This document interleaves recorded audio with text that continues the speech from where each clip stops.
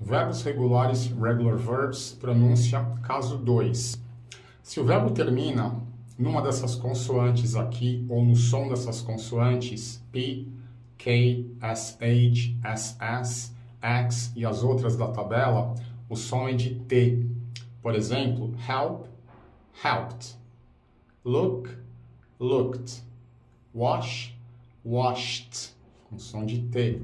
Kiss, kissed fix, fixed. Todos escrevem com ED. Look, looked. Looked. Como se fosse um K atropelando o T. Kiss, escreve kissed. Kissed. Cook, escreve cooked. Cooked. Wash, o passado escreve washed. Washed, como se fosse um som de